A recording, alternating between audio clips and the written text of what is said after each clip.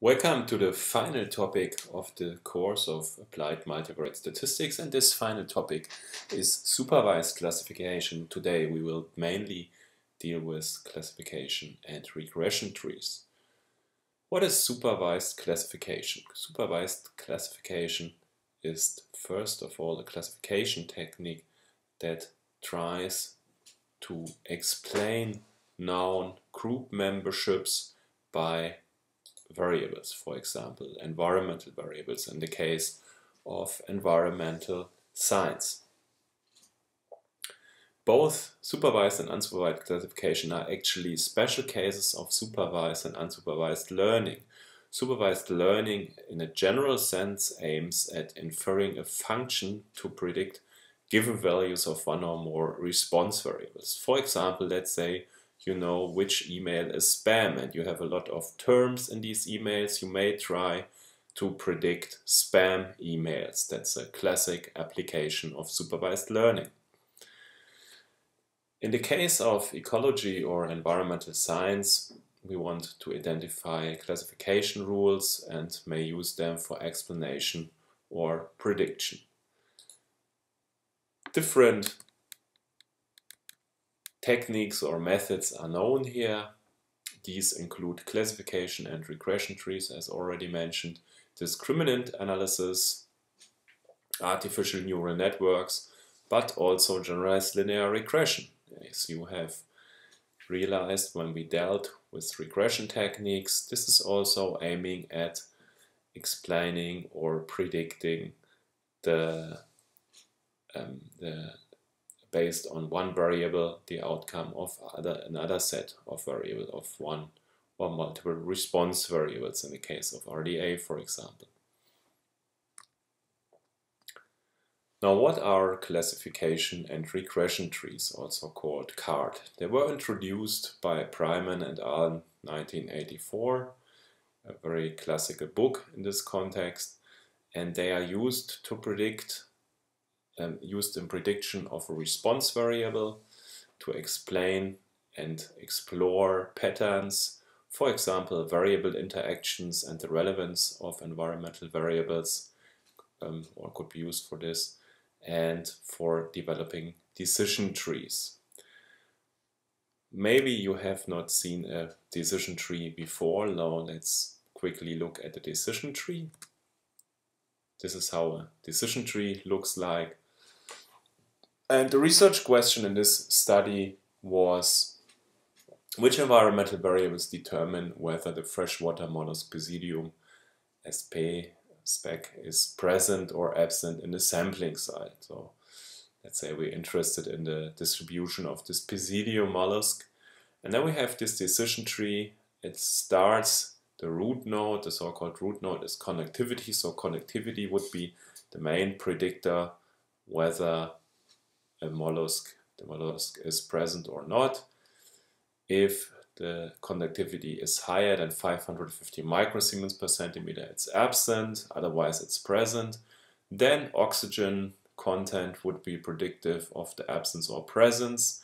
Then ecotoxicological test data, presumably in the study, would determine whether the uh, in the absence of toxicity, the species would be would be present and so on and so you go along this tree and you can predict or it's used to predict under these different environmental variables the outcome uh, of the presence or absence in a sampling site. So that's one example for the application of this classification and regression trees. So let's look a little bit at the terminology that is used for classification and regression trees. Why are we actually calling this trees? Well, this whole decision tree is called a tree, although it's a little bit odd because this tree throws, grows upside down. So you have here the root, the root node it's called, and it's split into different other nodes and each of these um, ends at the end with a terminal node that is also called leaf in the literature. That's why we are calling this trees, because of you could see in this resemblance to the normal tree. Here is a overview that also gives some more information. We start with a root node and this root node in the case of regression trees, and I will tell you a little bit later why that we have a distinction between regression and classification trees. This root node gives the mean and the number of observations in this case. For example, this is of the, the mean of the response variable that is used in the data that.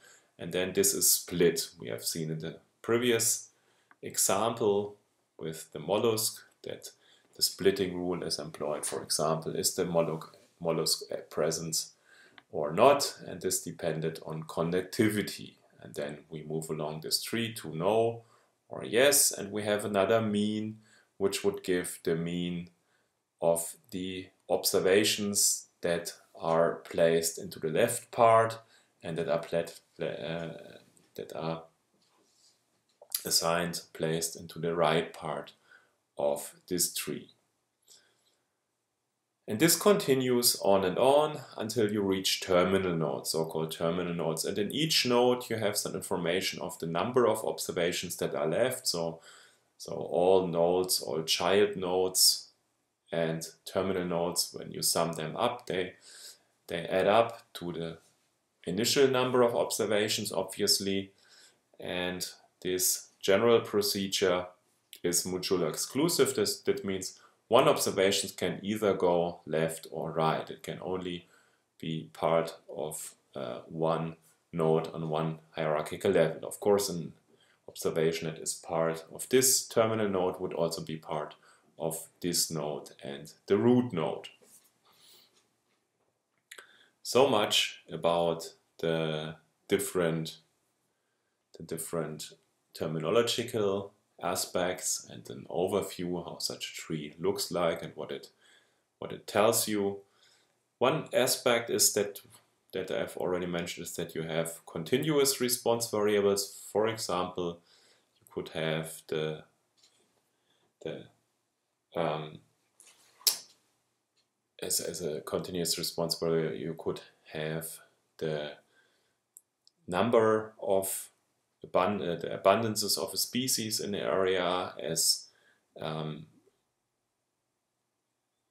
a categorical response variable would be the presence or absence of a species. So you have these different types of variables and when you have abundances or generally continuous variables, then you could use the mean of that of that response variable after employing the splitting rule. And if you had categorical variables, you would use these. Now let's move on and look at the steps that are employed when building up a tree. First of all, you split the root node into two groups. And you continue with this splitting all along until the terminal nodes.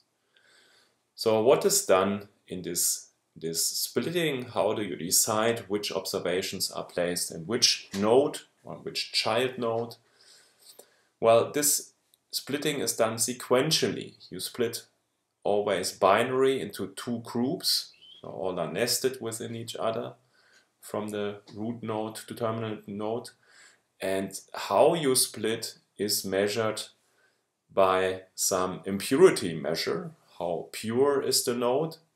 Or are the two nodes that are resulting? And it is the so-called deviance. And what you try to do, not too surprising perhaps, if you have followed all other parts of this course, is to minimize the deviance. So you search for the splitting of the observations in the two groups by minimizing the deviance. And how we can measure this will be explained later. So what we need to define here is some impurity or also good called goodness of split metric. The second part is that we need to stop tree building at some stage and there are three criteria that can stop the the nodes from further splitting into further nodes and this can be on the one hand to define a minimum number of observations in a node. It's clear that if you have, for example, only 10 observations left in a node and the minimum number of observations in a node should be 8 or 10, then it's unlikely then you can have another split. In addition, it could be that all observations inside the node have an identical distribution, especially in the case of classification trees. In the case of classifications, you have probabilities over the different factor levels inside a node and it's unlikely and if you have all of them as identical distribution then no further splitting is possible.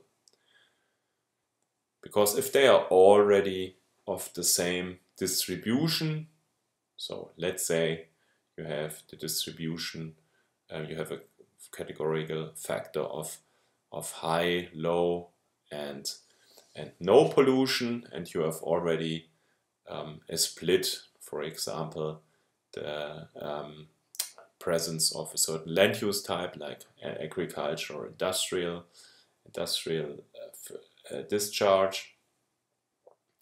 And you've already split this into a node where only non non-polluted sites are present, then further splitting makes no sense.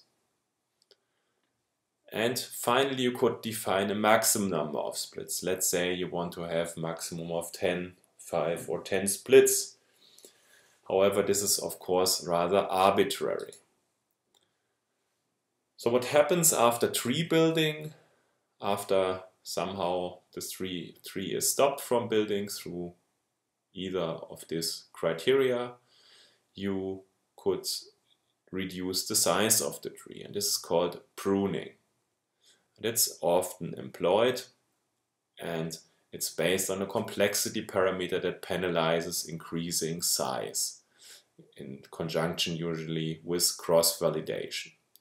Cross-validation you've heard, heard about in other parts of this course and this complexity parameter is somehow similar to uh, penalties that you that we had in a multiple regression context or in other contexts that the more variables you enter to a model um, gets penalized and here we have the more splits we have in a tree the more it is penalized.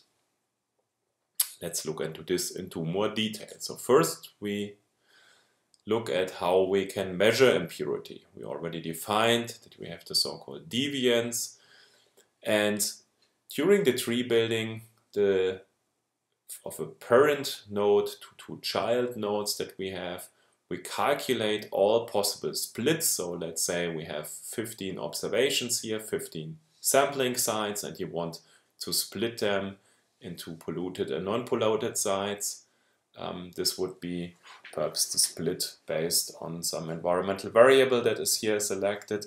Then the computer automatically calculates how you can distribute the sites between the two nodes based on which environmental variables and um, calculates the deviance inside the parent and inside the parent node and inside the child nodes and it calculates then the difference between the deviance and the parent and child node and tries to maximize this. Maximization in this context would also just mean to have the minimum deviance in the child node, obviously.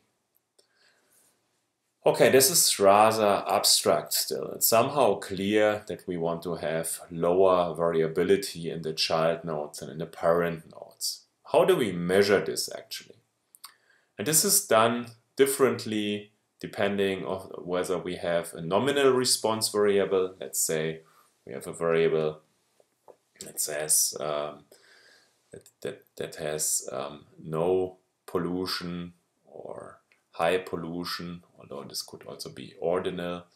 Um, uh, we have uh, other variables that explain uh, a species has has has some trade. The trade could be, for example, low capacity or high capacity to disperse. And we have a continuous variable here on the right side, and this could be different ones as already discussed, could be abundance of a species, it could be some chemical concentrations, it could be anything. It's clear that somehow we have to measure, know, use different measures for a response variable that's on a nominal scale and one is on a continuous scale. And for a nominal scale, we use the so-called Gini index. This Gini index is displayed here. First of all, it looks a little bit difficult to interpret, but it's actually very simple. So the deviance is calculated by, by calculating the sum of all observations, actually proportion of each observations multiplied with 1 minus the proportion of the, of the, of the observation in the class. So let's say we have here three factor levels. One factor level is uh, land use type, so we want to explain land use patterns, for example, from satellite imagery. Um, let's say we have, have in this the, the three classes, natural land cover, agricultural land cover, and urban land cover, and we have different proportions in this node. If for example, we had only only one type of land cover. Let's say we have 100% land cover, natural land cover. Then this would sum up to 1, here 1 minus 1, 0, 0 multiplied with 1 equals 0. And then we have the two other land cover types that are 0. They would would you, you would put here 0, 0 multiplied with 1 is 0. So the deviance would be 0. That means if you have only of all observations, if the proportion, uh, if all observations are in one class, the proportion is, is 1. And this yields to the minimum deviance. On the other hand, you could, you could see that if you have an equal distribution over the different classes, in a node, let's say in, in, in the case of three, each, each of them makes up 33% of the observation that would yield to the maximum deviance. So somehow this node or this deviance formula, this Gini index, uh, measures how pure this node is. So is there the maximum deviance is if the, all the observations belong are equally distributed over all classes and you have the minimum deviance if all observations belong just to one class. On the regression side it's actually much easier, perhaps not too surprising for you. What you just do is you measure the, the, the, the sum of squared differences between each observation and the total mean for that node. And this actually is the same as in other, um, as for other techniques such as ANOVA, where you sum the mean, this and you could, um, yeah, you, you even use the same terminology here. Not too difficult to understand. So how can we select the optimal reduction in tree size? The deviance D is penalized by the cost complexity parameter that is given as the deviance plus the cost complexity parameter multiplied with the size of the tree. So what we see here is somehow when the size of the tree increases, then typically the deviance becomes smaller because we have more explanatory power. That's why we have splitting rules, we explain more variance, so the deviance decreases, but at the same time, this parameter, the second term here, complexity parameter multiplied with side of 3 increases. So that's very similar to what we have known for the AIC. that we explain more variance, but we should be penalized for adding more splits here to the tree or adding more parameters to um, a regression model, for example, because in the end, otherwise we could just add um, a very high number of splits and then explain a lot, but that's rather trivial and leads to overfitting. So the choice of this cost complexity parameter obviously determines the op op optimal tree size. The larger we set this cost complexity parameter, the larger is the penalty on the size of the tree and the smaller would be the optimal tree, so where we reach the, um, the um, minimum deviance based on the cost complexity parameter. However, this the choice of such a cost complexity parameter is rather arbitrary, what we said there. So we need to think a little bit more, how can we end up with an optimal tree? And the answer here is cross-validation. How can cross-validation be used?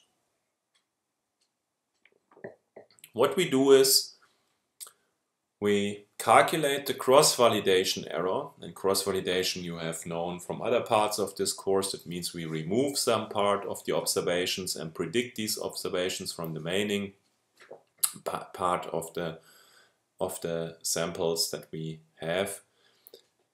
And we calculate this for different cost complexity parameters that are given here on the y-axis and actually each of these cost complexity parameters uh, corresponds for this specific case to uh, size of a tree. So if we would set the cost complexity, complexity parameter to 0.024, then the optimal size of a tree would be 7. And we see um, based on the of the cross-validation, we have here a point estimate of the cross-validation error and some standard errors for the cross-validation error.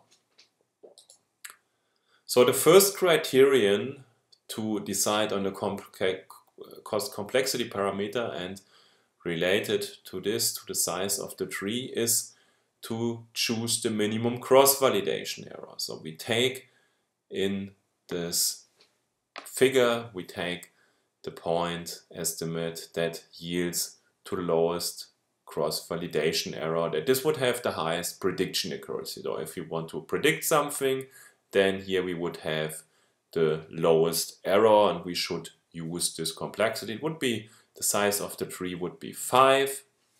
So this would mean 5 terminal nodes we have, or 4 splits.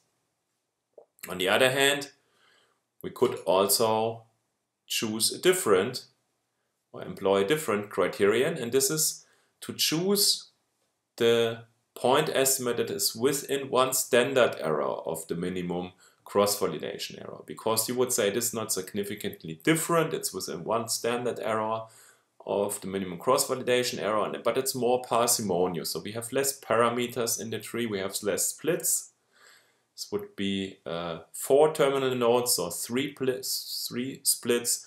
And it's similar to the choice in multiple regression analysis or in other types of modeling where we would say, well, if we want to explain something with the data, for example, what are the most important environmental variables, then we want to be more parsimonious and we don't care so much if we lose some predictive accuracy for novel for novel observations that could be um, could be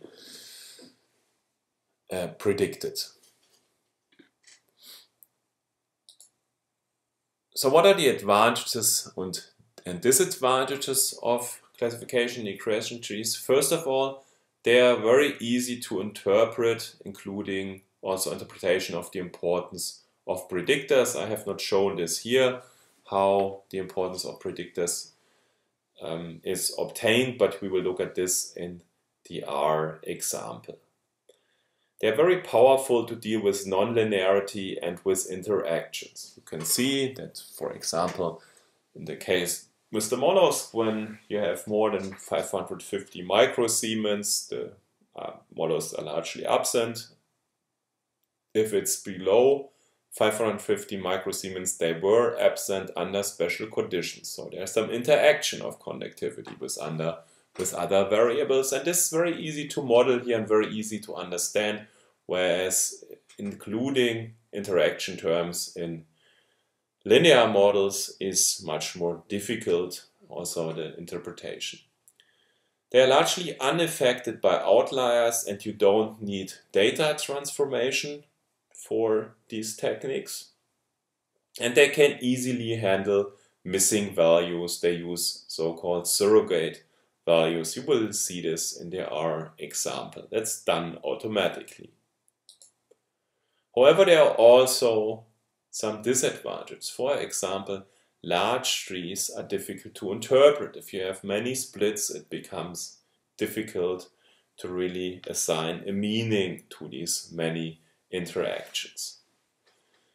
You typically require many observations. So many observations means in the case, in one case in the literature, they used about 100 observations and for this case CART was actually more powerful than generalized linear model for uh, the logistic regression. Um, I haven't, it's, it's like always in statistics, you can't give a definite number here, how many observations are required, but you certainly should use something, a minimum of 50, I would say. Depends, of course, as well on the number of variables that you have in the data set and so on. It's similar to multiple regression analysis, but you probably would rather need 20 or 30 uh, observations per variable that you include. Continuous variables are treated as discrete variables that can be a disadvantage because you may have continuous relationships that are not picked up here. Um, collinearity can complicate interpretation. Um, however, there are ways to deal with collinearity in the case of CARTs and for, during an extension of CARTs, such as boosted regression trees, if you have a lot of collinearity in the data. So it's uh, much easier than in the case of generalized or linear modeling.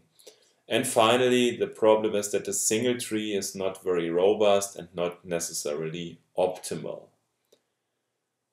That means slight changes in including observations or leaving out observations can lead to very different trees. And this means that somehow this technique leads to overfitting.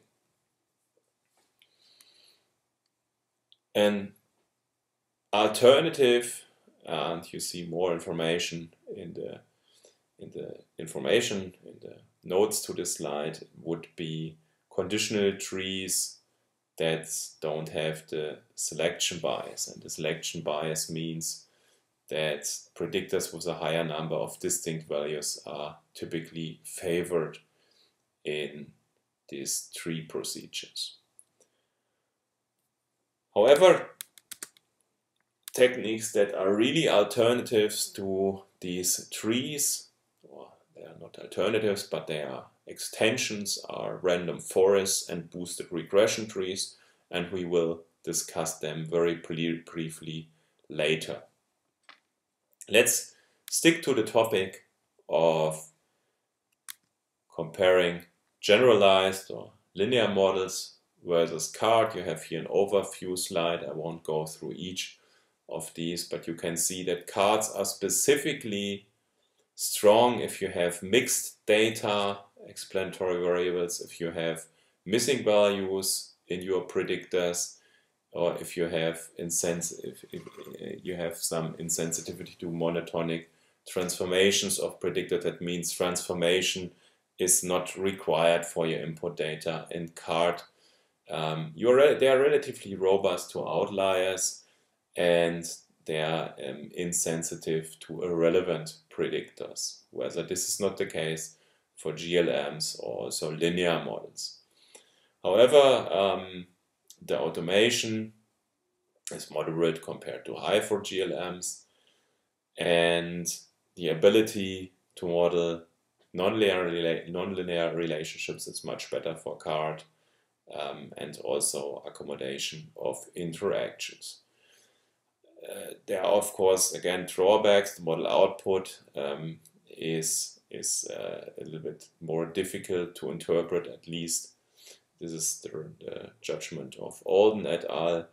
Um, for GLMs, um, and the software availability is a little bit um, less lower available and a little bit more difficult to use than GLMs. However, their predictive power is ranked higher. Another aspect um, that I've mentioned before is that CART typically requires larger data sets than GLM for meaningful results. Let's look um, under which conditions regression trees or generalized or linear models are better suited? Well, that depends actually on the data at hand. If your relationship between the predictors and response is linear, like shown as this example, where you have um, the relationship between x1 and x2, and these are the two shaded regions here that display the different parts of the data. Um, if this is linear, then the GLM or a linear model performs better. So you see this, see this here that the CART they do splitting, and splitting for the variable means that you have squared relationships, and this does not capture this linear uh, linear distinction between the two regions very well. So GLMs in this case would, uh, would outperform regression trees. And in, in, this, in this lower case, you see, let's say we have a relationship here between x1 and x2 with squared regions. So uh, a linear model here would be not very suited to capture the relationships between two variables, whereas the, uh, the regression trees would capture this. So this is the example. Um, it depends on the data at hand what technique is more suitable. And you would actually see this when you run a parametric model like a GLM or LM.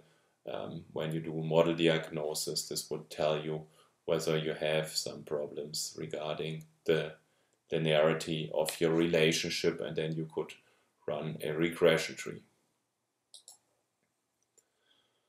So what are the extensions? First extension I want briefly to discuss are random forests. We start with the problem that the trees are not robust and tend to overfitting. So this technique is actually resistant to overfitting and robust and it works by growing many trees. If you have many trees, you have a forest, so that's why it's called random forest and you use this on a bootstrapped sample of training data. So you split up the data into some training data and test data, as mentioned before for other parts in this course, for other techniques.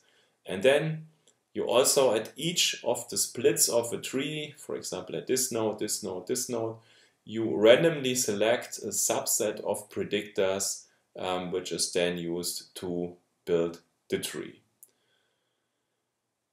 Um, we are not going into detail here why it is done. It's basically done for decorrelation. That means that the, since you select different environmental variables here in this node and in, in, in another tree, um, the trees are independent from each other and you can then have a better overview of the variable importance and the contribution to the final result and how good the respective tree is um, but we're not going more into details. Overall, random forest is one really of the best uh, and strongest techniques for classification, supervised classification, and the results are generally less easy to interpret. Nevertheless, you have also information on variables uh, importance um, that are provided by random, random forest, by this machine learning technique.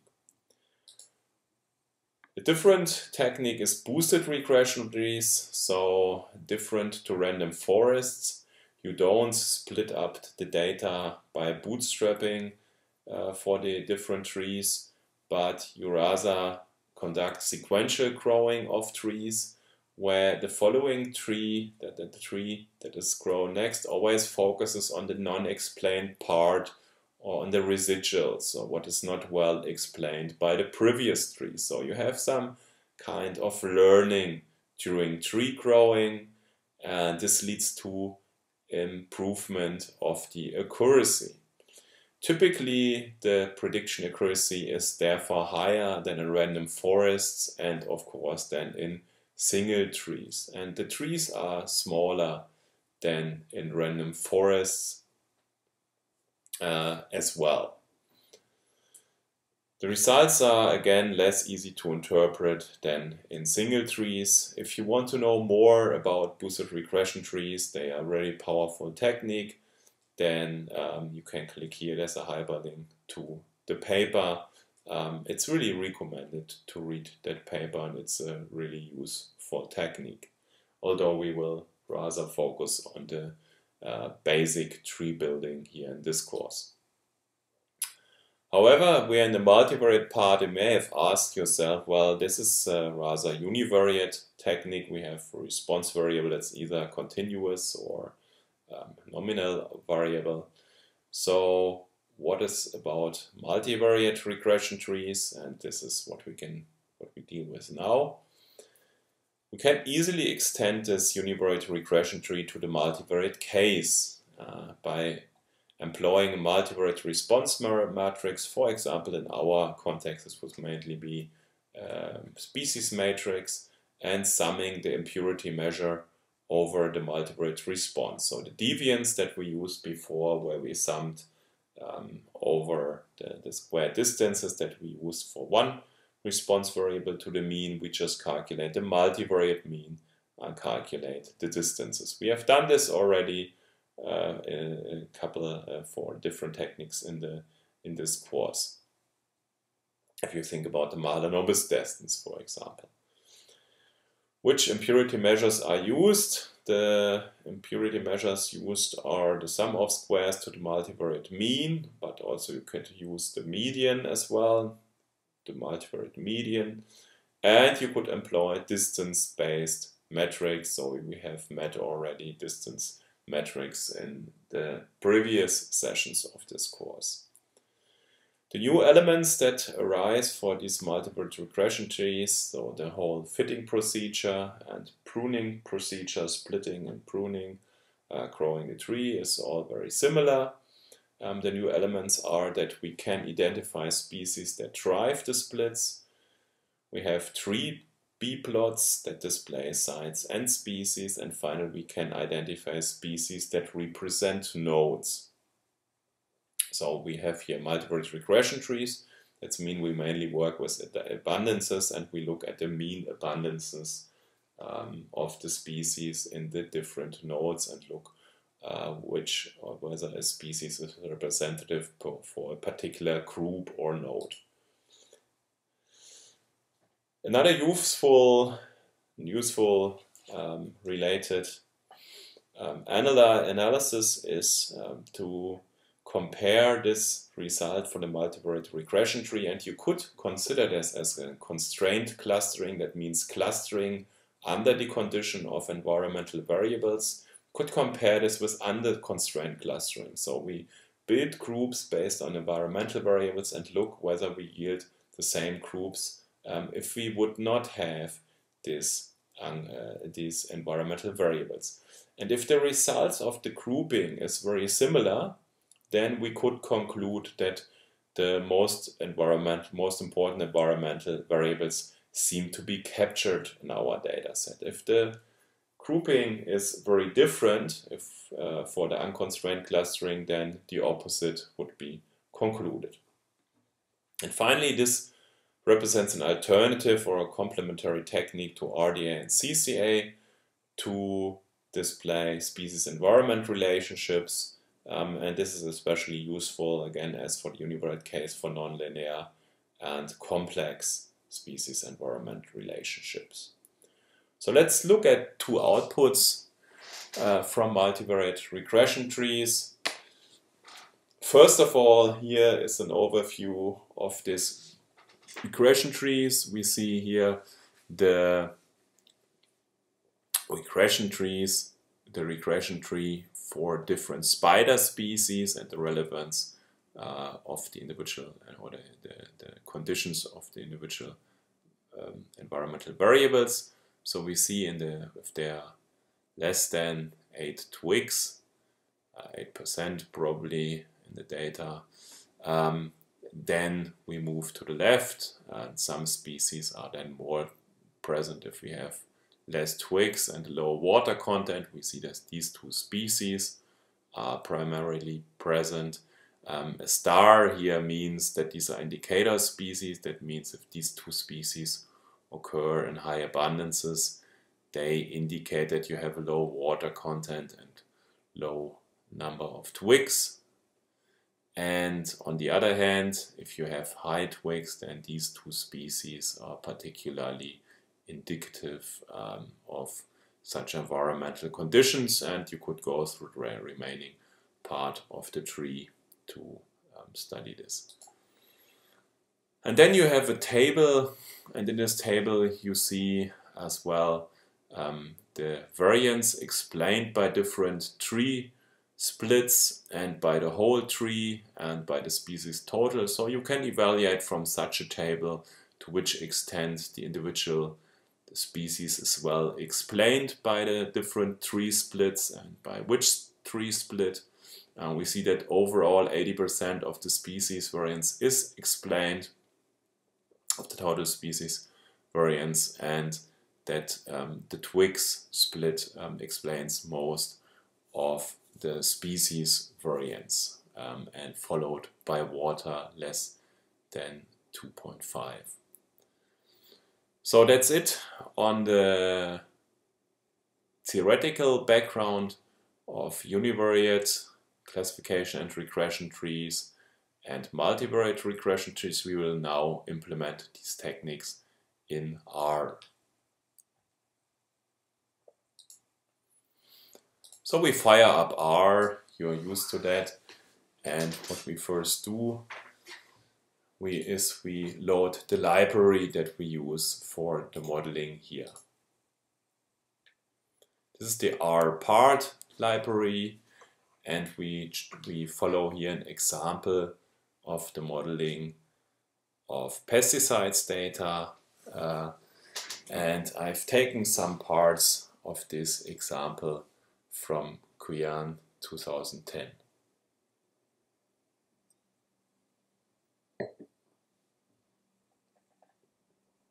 So we load the data here from the website.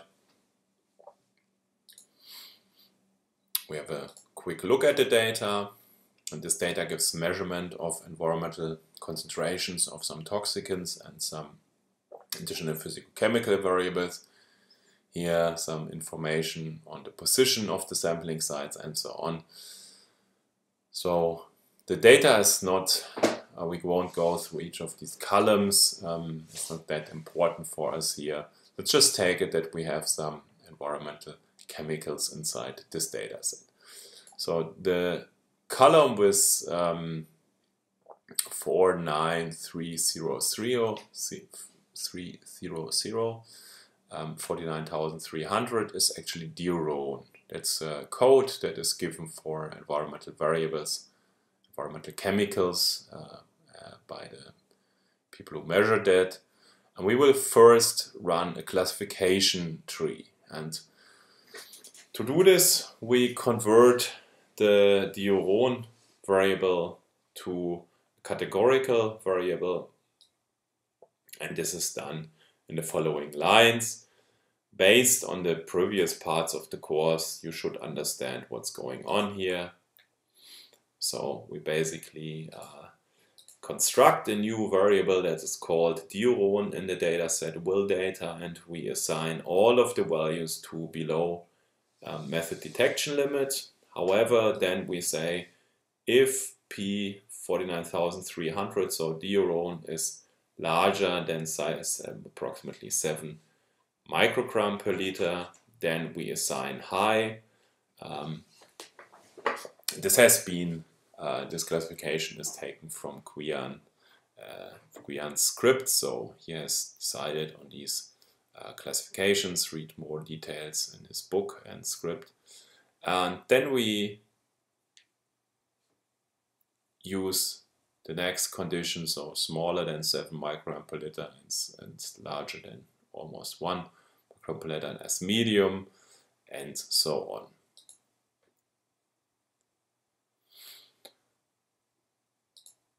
Finally, um, we look at the number of observations, it's 95, so approximately 100 as well.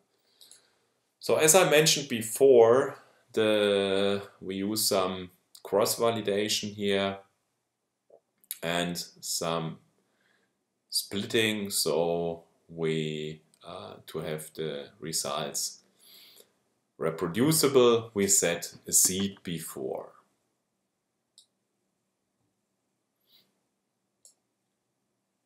We see also that this uh, command, this is actually the, the, the regression tree, or it's called rpart for recursive partitioning. We see that it follows the same syntax as other R functions for linear or generalized linear modeling. Um, you find more information, of course, in the help. Um, if we have uh, um, factorial data which we just constructed, we should employ here the method class. Otherwise, R tries to guess our type of data. So if we have a continuous variable, it would automatically select um, a different type, um, a different method, unless we force or provide R with information which, which uh, method to use and here we say that the minimum split in a node should be 10. And default would be 20. That means um, any node that is split has needs to have at least 20 observations and we reduce this to 10. So how does the result look like? We see that we have, we obtain such a tree um, with several splits. We see here that N23 relates to nutrients in the water body that, that uh, for low nutrients we end up, we rather end up with concentrations at the, at the bottom here, terminal nodes with uh, below method detection limit or low or medium concentrations. And here, if we have uh, land use forest um, larger than 5.5%, um, then we end up here on this, and we move, to, if we have below 5.5, we would move to the left side. If we have larger than 5.5 forest, um, we move to the right side, and so on. It's not that easy to interpret if you have. So, for example, how, how do we evaluate that we have, uh, when do we have below as a detection limit? We have to go through all these interactions here. So let's like, take a look at the cross-validation error. We can plot the diagram and as I mentioned in the theoretical part, we would look here what is the cross-validation error against the complexity parameter, and we see that we reach the minimum for a tree size of 3 of 5. And we decide here to take this um, validate the cross validation error for tree size of 5. So this relates here to 5 terminal nodes, or means 4 splits. We could also look at the different numbers. Um, here we have numerically, we have the cost complexity parameter, the number of splits and the cross validate, uh, the relative substitution error. and we have the cross-validation error. You can use this information to calculate the absolute cross-validation error for a node. That means um, to calculate how many of the observations in this node are correctly classified and which ones are not approximate, uh, not correctly classified. So, for example, what we have here is 56 of 95 observations are incorrectly classified. So we have a we have an error of 60% and if we calculate if you multiply this uh, with 0.82 for example uh, for the cross-validation error then we have um, an absolute error of 50% so half of the cases would be incorrectly uh, classified if we split this tree into um, four nodes. And we see that the relative error that's the simple substitution error doesn't take into account cross-validation, so only the full data set that this decreases, of course. So it's like in multiple regression, if we just add more variables, then we decrease, then we increase the explained variance, and this decreases, decreases the error. Um, this is the same here. If you look very subtle, you see that the complexity parameter values between the plot and and um, the printcp function are different because the printcp function um, reports the minimal complexity parameter um, for which the pruning is done and the other one the geometric mean with the standard error. So we decide to prune the tree to 5, to the size of 5. This is done with the prune command. Select the, the, um, the respective tree and the complexity parameter that we have read from the figure. Let's quickly look at the finger, figure again. So here we could read um, here was actually 0 0.062. Um, choose here in the previous example that I run uh, for different data. Uh, this was 0.054 because I set as different seed before. Um, so I choose this here to 0.06. We plot the data plot the results again. And now we see that we have five terminal nodes and we have just uh, four splits and it's easier to interpret now. We see that still nutrients are most important, uh, land use forests, land use residence, and um, the latitude here decides whether we have low or medium. We see we have actually no group at the end uh, with high, However, um, be aware this uh, assignment of, of classes at the end, this is just the dominant classes, so the ones that have the highest proportions. You would still have some misclassified classes here that was uh, below method detection limit, medium or high.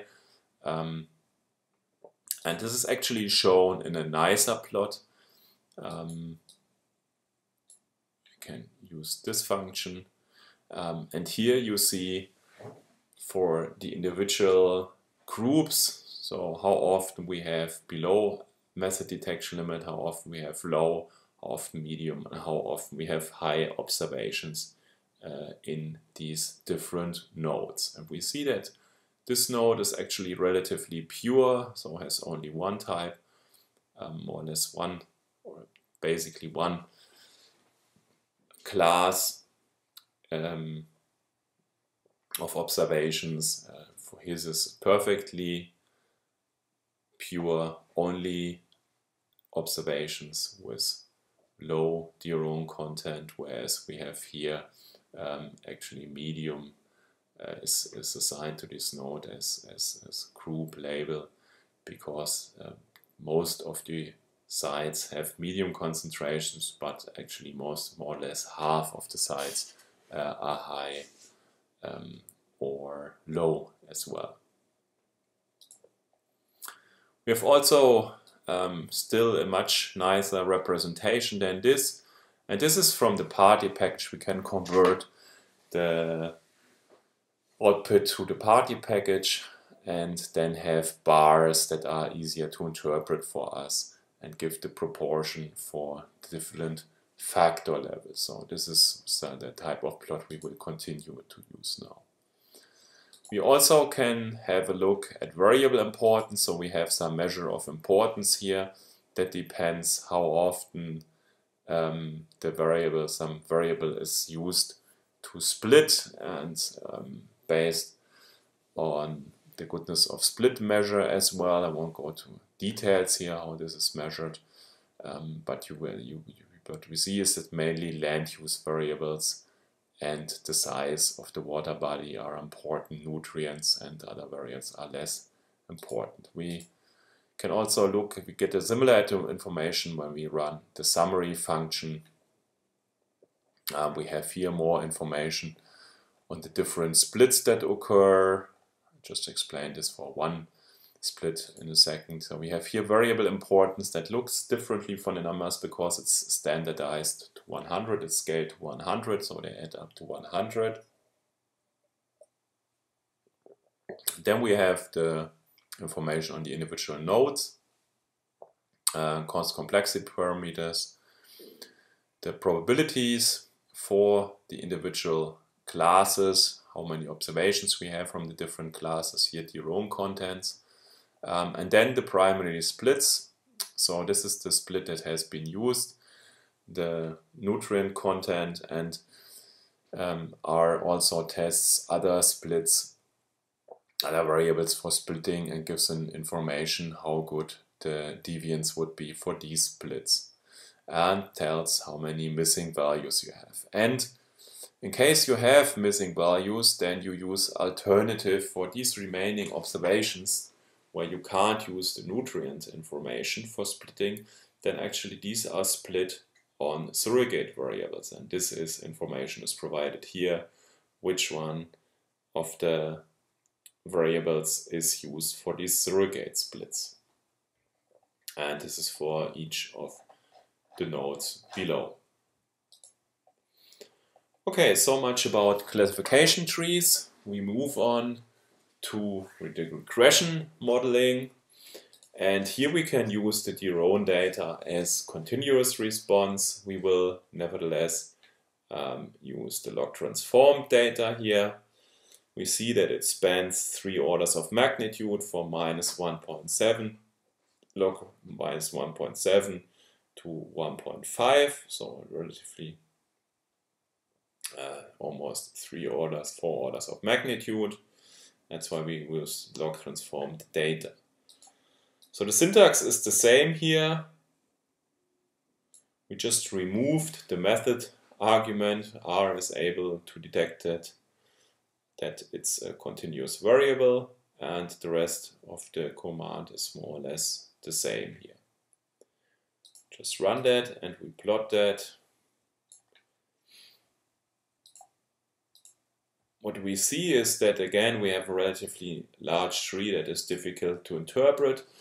Um, as I already explained in the previous theoretical part, in the, in the lecture part, um, you have the mean of the variable uh, now given because it's a continuous variable and calculate the mean and the number of observations in the node.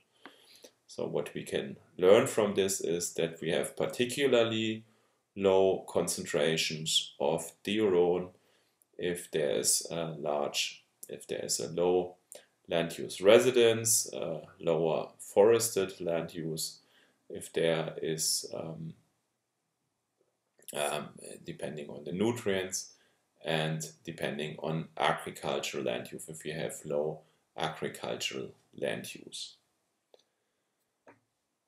So um, Nevertheless, the tree is quite large, so we proceed here uh, with the same in the same manner as we did for the classification trees. What we see here is that we don't reach a minimum. uh, the minimum would be somewhere here or somewhere here. Um, so we refit this model. We use um, a lower cost complexity parameter. If you look at the previous command, we didn't specify a cost complexity parameter that is by default set to 0.001. And here we set a much lower cost complexity parameter to have a longer chain in the, for this data set.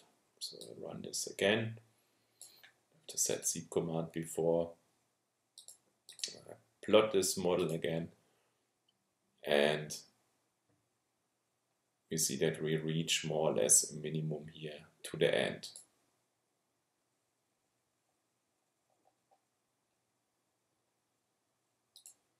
We have here a minimum at, at uh, size 15, it's slightly increasing. We could actually go even lower and run this again. I took this from the script. Here we see that not much changes anymore to this end.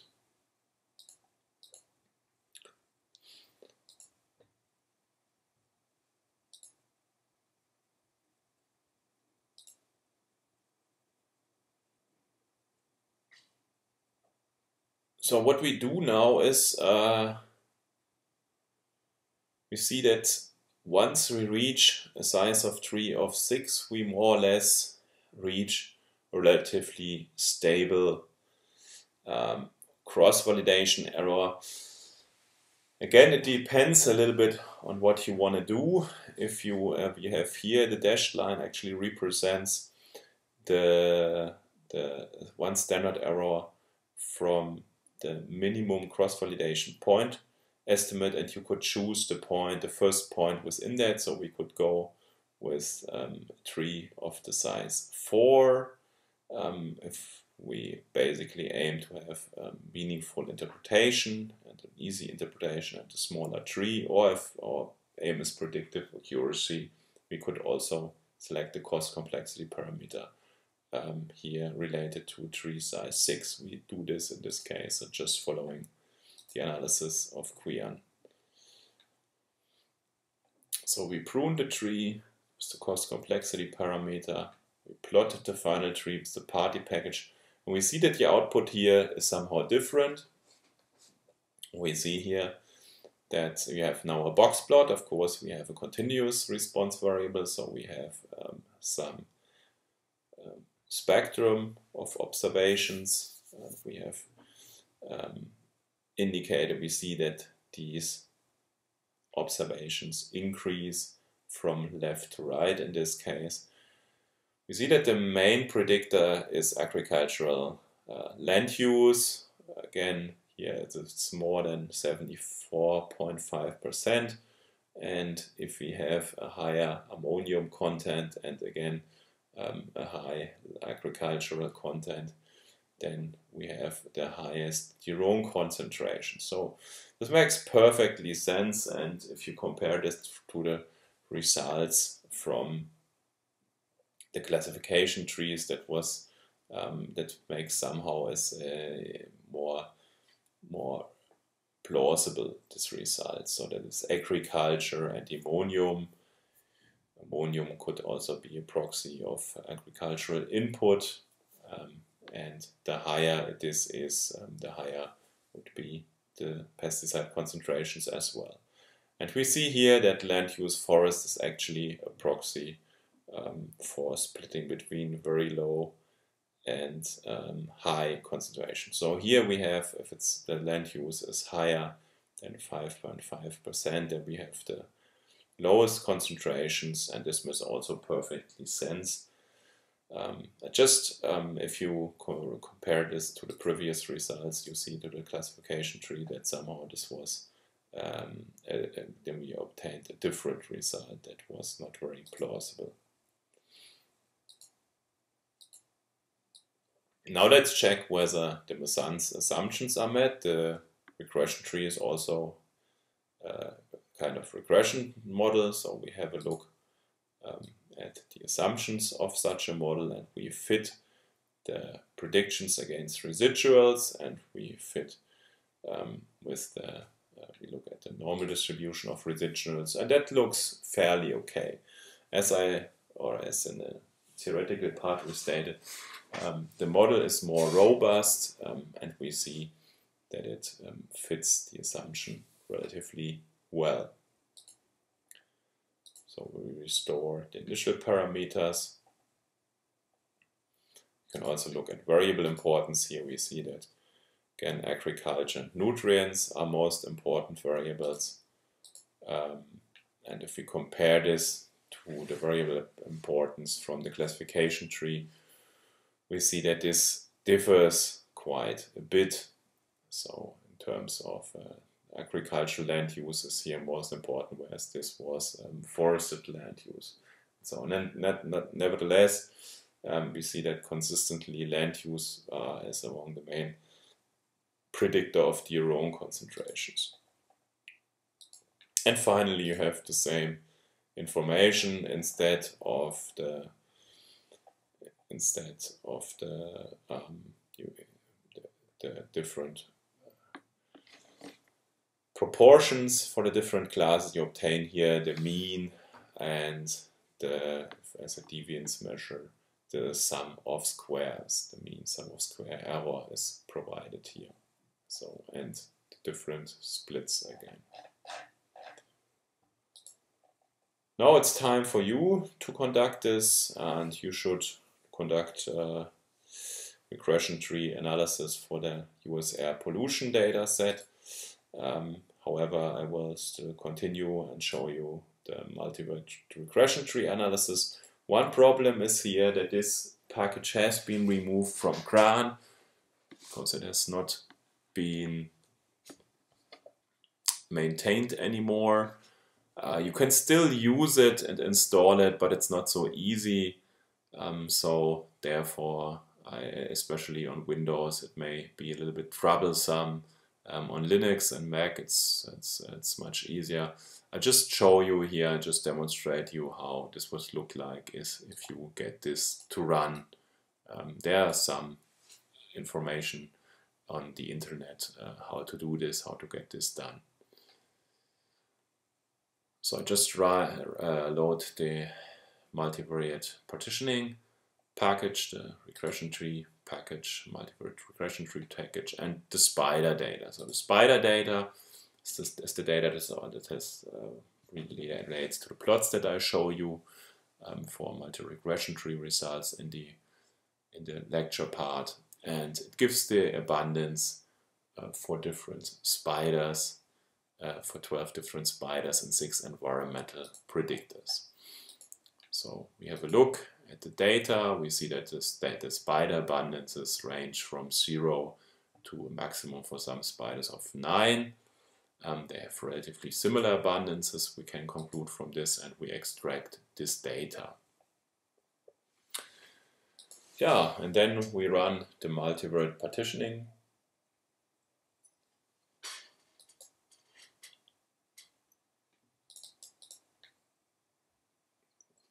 what this command does is actually uh, it combines all the commands that we did before. In the univariate case where we first had to run the tree or, or construct the tree then had to, let, to look at the cost complexity parameter and prune the tree. And this uh, package this function does did this all automatically. Here we select which cross validation uh, criterion whether we should use the minimum or the one standard error criterion um, to select the optimal pruning of the tree. So it's already done. Um, before we have a look at this tree, let's first have a look.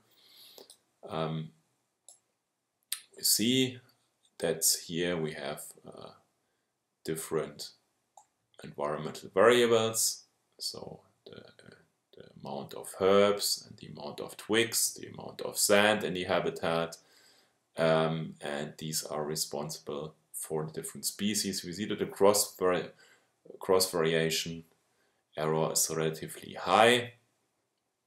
Um, so about almost 50% of the variance in the data set uh, when we use cross validation is not explained. And the number of observations is relatively low in these, in these groups. So now let's see uh, for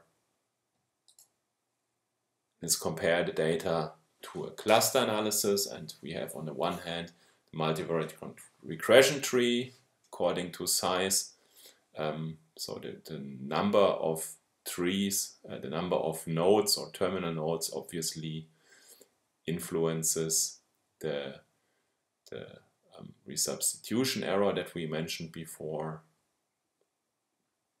And so if we use all the data, if we ignore cross-validation, and we compare this to the solution from a cluster analysis, first of all, that starts with the group from the multivariate regression trees and one in blue that is done uncons completely uh, with, with random configurations. And we see that the um, that the cross the, the resubstitution error is relatively similar, so there is not much more variance explained. Uh, this is k-means clustering here, we've had this before in the course. This k-means clustering explains a similar amount of variance um, as the multivariate regression trees based on environmental variables. So we could conclude here that most um, the most important environmental variables have been captured in by the multivariate regression tree or by, by when we um, collected the data. You could also run an interactive PCA plot for the tree nodes to aid in interpretation. So these are different nodes. Um, this is one node, this is one node. The nodes are uh, have different colors here. And we see here um, that the different um, mean of the nodes and the individual sites that make up this node. Um, and this allows you to evaluate how the data, how the individual observations in these nodes distributed. So how much variation there is in a node of the individual observations. We see this is a PCA plot.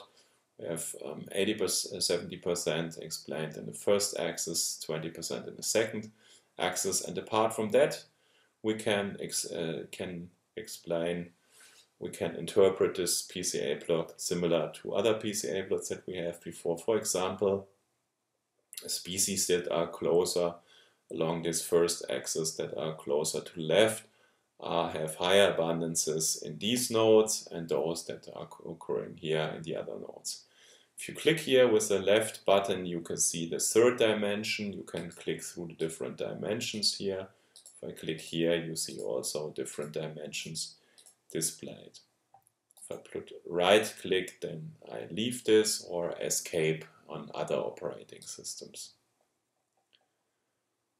So you could also, uh, now we don't know which node actually is situated where in the tree. We can run our initial analysis, then we have colors at these nodes. Now we will see there's the environmental factors with uh, low herbs, low twigs, and high sand is red and relates to these um, If we now click, we have a direct presentation of the species and sites again here.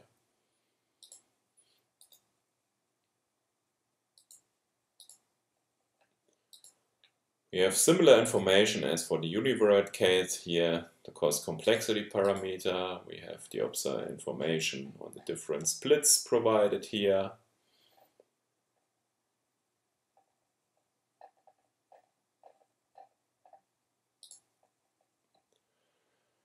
However, trees are not very stable, as we have heard before. What you could done is to run multiple cross validations, not, not, not just one, this whole procedure once, but several times. And for example, we do this here 100 times. We run this and um, then we obtain this result. We see that the cross validation error compared to the first case where we had 45% or even higher 47%. We have here decreased the cross-validation error a little bit by running this whole procedure 100 times.